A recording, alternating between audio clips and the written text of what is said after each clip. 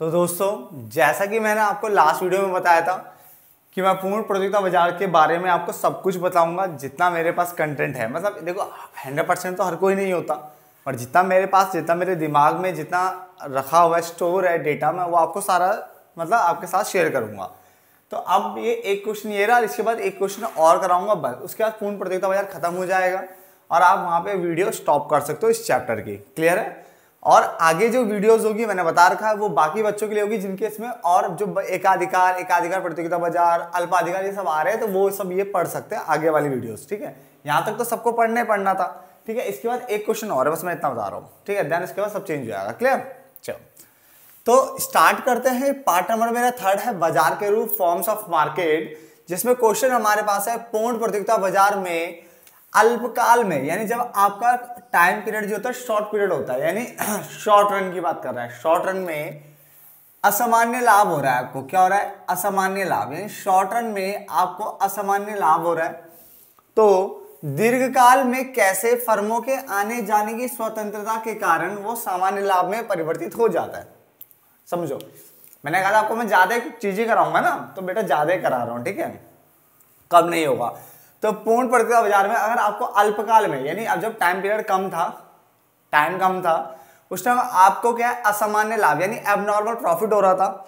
तो दीर्घकाल में फर्मों के आने जाने की स्वतंत्रता के कारण कैसे ये सामान्य लाभ में परिवर्तित हो जाता है, इसको समझिए तो आंसर इसका ये है बच्चा, कि पूर्ण प्रतियोगिता बाज़ार में अल्पकाल में प्राप्त असामान्य लाभ, दीर्घकाल में सामान्य लाभ में इसलिए परिवर्तित हो जाता है क्योंकि पॉइंट नंबर वन यदि पूर्ण प्रतियोगिता बाज़ार में अल्पकाल में असामान्य लाभ हो रहा है तो इससे नई फर्में प्रवेश करेगी। अब एक चीज़ बताओ, यहाँ पे मान लो हमारे उद्योग में मान लो दस फर्में हैं, और हम सबको जो है वो एबनॉर्मल प्रॉफिट हो रहा है मतलब बहुत अच्छा खासा प्रॉफिट ही प्रॉफिट हो रहा है। तो बाहर के जो लोग हैं, वो भी सोचेंगे कि हम भी क्या है यहाँ पे जाकर के अपनी फर्में खोल दें। सीधी सीधी बात है तो वही चीज़ कह रहा है कि अगर अल्पकाल में आपको असामान्य लाभ हो रहा है तो नई फर्म प्रवेश करेगी नए नए बंदे आएँगे।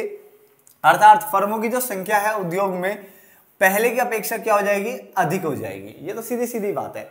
अगर आपको असामान्य लाभ हो रहा है तो बाहर से लोग देख करके वो भी अपनी दुकानें आसपास खोलना स्टार्ट कर देते हैं, है ना? यही होता ना? अल्पकाल में असामान्य लाभ होने के कारण जो पुरानी फर्में हैं, वो प्लांट के आकार में वृद्धि कर देगी। इसका मतलब बाहर से नई फर्में तो आई रही है। और पुरानी फर्में क्या हाथ पे हाथ धरे बैठेगी? नहीं, बेटा, अगर उनको अच्छा खासा प्रॉफिट हो रहा है तो वो अपने आकार को बढ़ाएगी। यानी अपने प्लांट के आकार को वो क्या करेगी? बढ़ाएगी। क्लियर है? तो जिससे ज़्यादा प्रोडक्शन होगा। नई फर्मों के प्रवेश के कारण तथा पुराने फर्मों द्वारा प्लांट के आकार में वृद्धि करने के कारण जो फर्मों की जो पूर्ति में वृद्धि, यानी फर्मों की जो होती है, पूर्ति में वृद्धि होने लग जाएगी, जिससे जो कुल पूर्ति है, वो क्या हो जाएगी? बढ़ जाएगी। तो अब तो बेसिक पॉइंट क्या है? पहला पॉइंट अगर आपको अल्पकाल में असामान्य लाभ हो रहा है तो उससे नई फर्में क्या होगी? उद्योग में प्रवेश करना शुरू कर देगी। पहला पॉइंट जो पुरानी फर्में थी, वो प्लांट के आकार को बढ़ा देगी। दूसरा पॉइंट फर्म, नई फर्मों के प्रवेश करने के कारण और पुरानी फर्मों के द्वारा प्लांट के आकार में वृद्धि करने के कारण जो पूर्ति है फर्मों की, वो बढ़ जाएगी, जिससे उद्योग में पूर्ति का जो लेवल है, वो बढ़ना शुरू हो जाएगा बहुत ज़्यादा। और पूर्ति में वृद्धि होने के कारण अल्पकाल में जो असामान्य लाभ हो रहा था, वो दीर्घकाल में सामान्य लाभ में क्या होता है? परिवर्तित हो जाता है। यानी पूर्ति में वृद्धि होने के कारण ही अल्पकाल में जो असामान्य लाभ था दीर्घकाल में सामान्य लाभ में परिवर्तित हो जाता है। यानी अब नॉर्मल प्रॉफिट से नॉर्मल प्रॉफिट की ओर चले जाते हो आप। यानी अल्पकाल में अगर असामान्य लाभ हो रहा है तो दीर्घकाल में सामान्य लाभ में परिवर्तित हो जाता है। इसे भी और समझने की कोशिश करते हैं डायग्राम एंड ऑल से। पहले यहाँ तक नोट डाउन करिए, फटाफट से। तो हमने क्या देखा इसमें? हमने बोला कि जैसे मान के चलो ये पूरा क्या है? ये उद्योग है। इसके अंदर जो छोटी छोटी चीज़ें है, वो क्या है? फर्में हैं। तो एक तो नई फर्में प्रवेश करेगी, पुरानी फर्में प्लांट के आकार में वृद्धि करेगी, आए ना, जिससे पूर्ति में वृद्धि होगी। ये तीन पॉइंट आपने पढ़ लिए थे वहाँ पे। अब मैं मान रहा हूँ, माना छह बराबर असामान्य लाभ यानी एबनॉर्मल प्रॉफिट पाँच बराबर सामान्य लाभ यानी नॉर्मल प्रॉफिट और चार बराबर हानि मान लेता हूँ। फिर मैंने एक कर बनाने की कोशिश कर रहा हूँ। यहाँ पे मैं एक्स अक्ष वाई एक्स मात्रा यानी क्यू और यहाँ पे लाभ हानि रख लो, वैसे ज़्यादा बढ़िया कीमत भी रखा मैंने लेस करके रखा हुआ है, चाहे कीमत मान लो। ठीक है ना? तो लाभ हानि बढ़िया रहेगा। अब आपको करना क्या? है डिमांड सप्लाई बना देनी है। मान लो ये डिमांड कर्व है। डी डी ठीक है? स्केल का यूज़ करना बेटा। ठीक है? डी ए ये। सप्लाई कर रहा है आपका। एस एस जहाँ पे कट करता है, वहाँ पे संतुलन की अवस्था होती है और इसको इस तरह से मिला लेना। ठीक है ना? इसको क्यू कर लेते हैं। और इसको मैं अपना मान लेता हूँ कितना? ये असामान्य लाभ आपको हो रहा था छः क्या हो रहा था? असामान्य लाभ हो रहा था। अब इस क्वेश्चन ने क्या बोला मुझे? कि पूर्ति में वृद्धि होगी। तो पूर्ति में वृद्धि तो बेटा इसी तरफ़ होगी, क्योंकि देखो मात्रा zero, one, two, three, four, ऐसे बढ़ती है। तो पूर्ति में वृद्धि बाहर की तरफ़ होगी। तो मैं पूर्ति में वृद्धि करके देखता हूँ। ये वन हो गया। ये भी एस वन हो गया। ठीक है ना? तो जब पूर्ति में वृद्धि करा तो उसने डिमांड को कहाँ पे कट किया? यहाँ पे कट किया। इसको मैं ईवन बोल देता हूँ। हाई ना अब इसको भी मिला लेते हैं।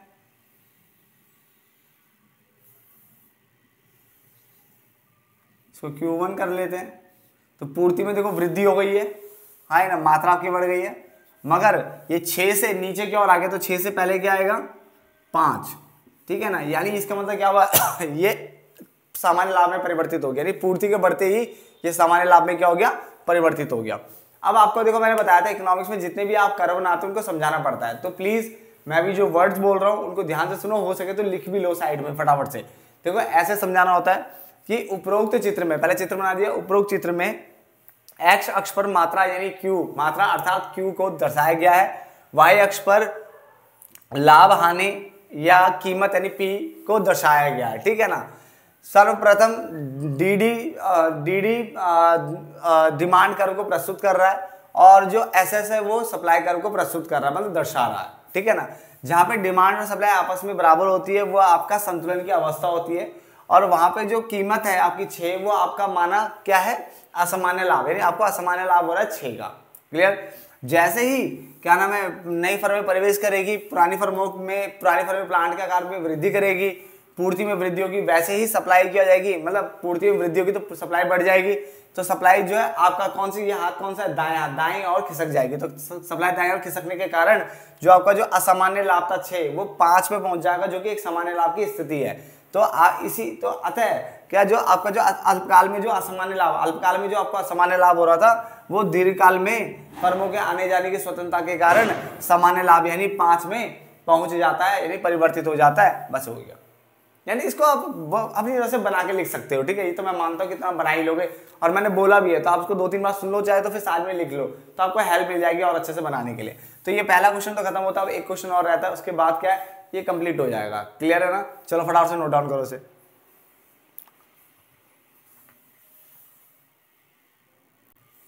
अब इस क्वेश्चन पे ध्यान दीजिए। इसमें लिखा है, पूर्ण प्रतियोगिता बाज़ार में, अल्पकाल में, इसका मतलब शॉर्ट पीरियड में इस बार आपको क्या हो रही है? हानि हो रही है। अल्पकाल में प्राप्त हानि, दीर्घकाल में फर्मों के आने जाने की स्वतंत्रता के कारण कैसे सामान्य लाभ में परिवर्तित हो जाता है? इससे पहले वाला क्वेश्चन क्या था? वहाँ पे अल्पकाल में असामान्य लाभ था, वो दीर्घकाल में सामान्य लाभ में परिवर्तित हो रहा था। इस बार क्या है? अल्पकाल में हानि हो रही है और ये भी दीर्घकाल में क्या सामान्य लाभ में परिवर्तित हो रहा है। कैसे इसको समझाना है? तो उसने बोला, पूर्ण प्रतियोगिता बाज़ार में अल्पकाल में प्राप्त हानि, दीर्घकाल में फर्मों के आने जाने की स्वतंत्रता के कारण सामान्य लाभ में इसलिए परिवर्तित हो जाता है क्योंकि नंबर वन अब आपको पहले देखो हानि हो रही है। क्या हो रही है? हानि हो रही है। तो जब अल्पकाल में हानि होती है तो इससे उद्योग में नई फर्में प्रवेश नहीं करेगी। भाई, जब हानि हो रही है, जहाँ लॉस हो रहा है, वहाँ नई बंदे आएँगे क्यों? सीधी सीधी बात है। तो इस बार हानि हो रही है तो नए बंदे तो आने वाले हैं नहीं तो नई फर्म प्रवेश नहीं करेगी। पहला पॉइंट क्लियर हो गया। पॉइंट नंबर टू अल्पकाल में हानि होने के कारण जो पुरानी फर्में थी, वो अपने प्लांट के आकार को क्या कर देगी? पहले की अपेक्षा कम यानी छोटा कर देगी। यानी जितना बड़ा उनका बिज़नेस था, उस बिज़नेस को थोड़ा समेट लेगी और छोटा कर देगी, क्योंकि इनको लॉस पे लॉस हो रहा है। ये पॉइंट समझ में आता है। पॉइंट नंबर थर्ड अल्पकाल में हानि होने के कारण कुछ जो पुरानी फर्में हैं, वो उद्योग को छोड़कर ही चले जाएगी। जो बेचारी लॉस सहन नहीं कर पाएगी, वो उद्योग बंद कर मतलब अपने फर्में बंद कर देगी और निकल जाएगी। क्लियर हो गया। तो तीन पॉइंट में क्या लिखवाया मैंने? कि जब अल्पकाल में हानि होती है तो इससे उद्योग में नई फर्में प्रवेश नहीं करेगी। जो पुरानी फर्में हैं, वो अपने प्लांट के आकार को क्या कर देगी? छोटा कर देगी। और कुछ पुरानी फर्में जो है, वो छोड़कर, उद्योग को छोड़ के चले जाएगी। समझ में आ गया? नई फर्मों के प्रवेश ना करने के कारण, पुरानी फर्मों के द्वारा प्लांट के आकार को कम करने के कारण, और कुछ फर्मों द्वारा उद्योग को छोड़ने के कारण, यानी छोड़कर चले जाने के कारण जो पूर्ति है, वो कम हो जाएगी। अर्थात उद्योग में जो पूर्ति का जो स्तर है लेवल है, वो कम हो जाएगा। और पूर्ति के कम होने के कारण ही अल्पकाल में प्राप्त हानि, दीर्घकाल में सामान्य लाभ में परिवर्तित हो जाता है। यानी अल्पकाल में जो हानि हो रही है, वो दीर्घकाल में सामान्य लाभ में क्या होता है? परिवर्तित हो जाता है। अब इसको भी डायग्राम एंड से समझ लेते हैं। फिर ये क्वेश्चन खत्म हो जाएगा हमारा। ठीक है, फटाफट से नोट डाउन कर लो। बहुत आसान लैंग्वेज में बेटा मैंने लिखवाया है। अपनी तरफ़ से बनाने की कोशिश कर रहा हूँ। देखो लैंग्वेज ताकि आपके दिमाग में फटाफट घुस जाए। अब आगे देखिए इसमें।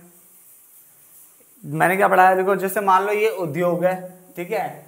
इसके अंदर फर्में हैं। अब इसमें मैंने क्या क्या पॉइंट बताया कि नई फर्में प्रवेश नहीं करेगी, पुरानी फर्में प्लांट के आकार को कम कर देगी, कुछ फर्में प्लांट को छोड़कर चली जाएगी, जिससे जिससे पूर्ति क्या हो जाएगी? कम हो जाएगी। क्लियर है? अब मैंने मान, बोला माना, छह बराबर असामान्य लाभ मान लेता हूँ मैं, पाँच बराबर सामान्य लाभ और चार बराबर हानि, यानी अब नॉर्मल प्रॉफिट नॉर्मल प्रॉफिट और लॉस क्लियर है? जैसे पिछली बार माना था मैंने।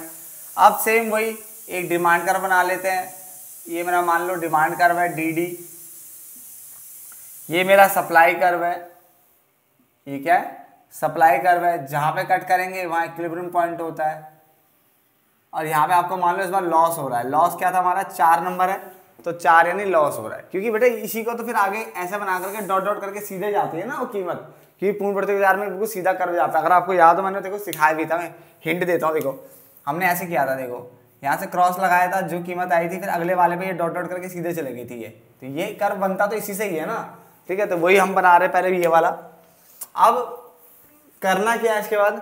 इसने बोला यहाँ पे, इसको पहले यहाँ पे नीचे मिला लेता हूँ। ये क्यों हो गया? अब इसने बोला था कि पूर्ति कम हो जाएगी तो पूर्ति कम करना है तो बाई तरफ़ लेके जाओ, पीछे की तरफ़। क्योंकि देखो, आगे तो संख्या बढ़ती है तो यहाँ पे मात्रा बढ़ेगी आगे की तरफ़। अब हमें पीछे की ओर जाना है बैक साइड जाना है तो पीछे की तरफ़ लेके जाते हैं।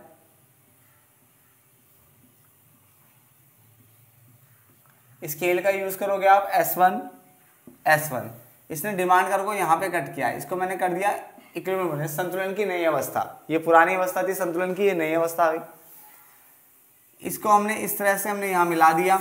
चार के ऊपर क्या आता बेटा? पाँच आएगा। डेट छह तो नहीं आएगा। पाँच आएगा। और यहाँ से नीचे आ जाएगा ऐसे। क्यू वन हो जाएगा। देखो, ये पूर्ति तो देखो आपकी कम हो गई है, पीछे आ गई है। और जो आपका हानि था, वो कहाँ पहुँच गया? हानि पहुँच गया आपके कहाँ पे? सामान्य लाभ पे, यानी पाँच पाँच आपका सामान्य लाभ था, देखो यार इसके बाद वही चीज़ मैंने बताया था, आप इस तरह समझा सकते हो कि उपरोक्त चित्र में एक्स अक्ष पर मात्रा यानी क्यू को दर्शाया गया है वाई अक्ष पर लाभ या हानि, ठीक है? लाभ और हानि को दर्शाया गया है। जैसे ही इसने बोला, यहाँ पे पहले बोला डी डी जो मांग वक्र है, उसको प्रदर्शित कर रहा है। एस एस जो है सप्लाई कर यानी पूर्ति वक्र को प्रदर्शित कर रहा है। जहाँ पे द, द, क्या था मांग वक्र और सप्लाई कर आपस में एक दूसरे को काटते हैं उसको हम ई e से दर्शाते हैं जिसको हम संतुलन की अवस्था कहते हैं। यहाँ तक तो समझ में आ गया। इस अवस्था पर जो आपको क्या हो रहा है इस अवस्था पर आपको हानि हो रही है जिसको हमने चार से दर्शाया है। यहाँ तक आप लिख सकते हो। उसके बाद जैसे ही ये सारे पॉइंट के बारे में बात करनी है कि नई फर्म में प्रवेश नहीं करेगी पुराने फर्म में प्लांट का कार को कम कर देगी कुछ फर्म प्लांट को छोड़ के चले जाएगी जिससे पूर्ति कम हो जाएगी। पूर्ति के कम होने पर, पूर्ति को जैसे ही मैंने कम करा तो आपका जो हानि था, चार था, वो सामान्य लाभ यानी पाँच पे पहुँच जाता है है ना? और बस ये सब चीज़ें लिखनी खुद ही बना करके जो भी था, पहुँच जाता है। बस बहुत तो हो गया। ठीक है? तो ये पार्ट नंबर थर्ड में यहीं पे रोक रहा हूँ। ठीक है? खुद से बनाने की कोशिश करो, बेटा। देखो, मैं पूरी कोशिश तो आपके साथ कर ही रहा हूँ। ठीक है? आप बना सकते हो। इतना तो बन ही जाता है। ठीक है? जब लिखने बैठोगे तो अपने हाथ चलता है। तो ये पार्ट नंबर थर्ड उन बच्चों के लिए था जो सीबीएसई e से दे रहे हैं और उनके लिए, उनके कोर्स में यहीं तक ही आ रहा है। ये भी मैंने एक्स्ट्रा कराया मैं मुँह पे बोलता हूँ आपको। मैं मुँह पे बता रहा हूँ आपको। मैंने आपको एक्स्ट्रा ही कराया है, क्योंकि मैं चाहता हूँ कुछ छूटे ना पूर्ण प्रतियोगिता बाज़ार में। तो मैंने ये भी करा दिया। ये दो क्वेश्चन भी एक्स्ट्रा में ही है वैसे आपके लिए। तो यहाँ तक पार्ट नंबर थ्री तक आप कर लीजिए। अब पार्ट नंबर फोर से बस वही बच्चे करे वीडियो जिनके इसमें एकाधिकार, अल्पाधिकार और जो एकाधिकारी प्रतियोगिता बाज़ार है, वो आ रहा हो। क्लियर है तो मैं उनको भी खत्म कर, फटाफट से खत्म कर देता हूँ। फिर हम एक नए चैप्टर में पहुँचेंगे जो सबके लिए आ रहा है। ठीक है, बाज़ार संतुलन वाला जो चैप्टर है, वो सबके इसमें आ रहा है, याद रखना, आपके इसमें भी और जो अलग से जिनके इसमें सारा कोर्स सारा बेटा उनके इसमें भी। बहुत सारे बच्चों का ना कहना ही है कि आप थंबनेल में ग्यारहवीं, बारहवीं बी ए बी कॉम क्यों लिखते हो? बेटा बी ए बी कॉम इसलिए लिखते हो कि बी ए बी कॉम में भी ये सब चीज़ें पूछता है। पहला point B A B com इसलिए लिखते हैं कि बी ए बी कॉम में बाज़ार वाला चैप्टर एंड ऑल पूछा जाता है। समझ में आ गया? ग्यारहवीं, बारहवीं इसलिए लिखते हैं कि बेटा देखो पहले ना ये बारहवीं का पार्ट हुआ करता था। बाद में इसको क्या कर दिया? ग्यारहवीं में कर दिया। तो ग्यारहवीं का तो कोर्स बन ही गया, इसलिए ग्यारहवीं लिखना पड़ता है। और बारहवीं इसलिए लिखना पड़ता है कि कुछ स्टेट जैसे बिहार के बच्चे जब पढ़ने के लिए आते हैं कहीं और तो उनके इसमें अभी भी ना बारहवीं क्लास में पूछ लिया जाता है। तो बहुत सारे स्टेट ऐसे हैं जिसमें अभी भी बारहवीं क्लास में पूछा जाता है। इसलिए मैं बारहवीं का भी वो वहाँ पे क्या लिखा, लिख देता हूँ। तो आपको उससे तो कोई मतलब नहीं, आपको तो कंटेंट से मतलब है। ये कंटेंट आप पढ़िए, ठीक है? और अच्छे नंबर लेकर आइए, ठीक है ना? ये कंटेंट पढ़ो और अच्छे नंबर लेकर के आओ। तो मिलते हैं फिर पार्ट नंबर फोर में। तब तक के लिए धन्यवाद दोस्तों।